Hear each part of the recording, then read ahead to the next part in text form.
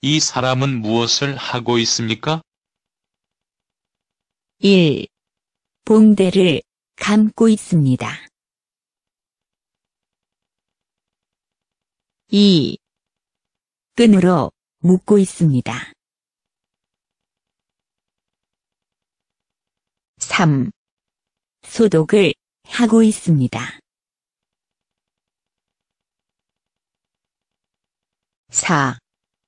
낫에 베이고 있습니다.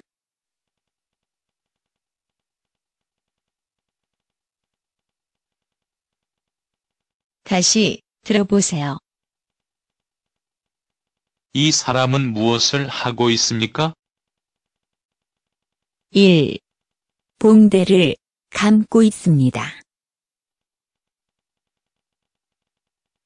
2. 끈으로 묶고 있습니다. 3. 소독을 하고 있습니다.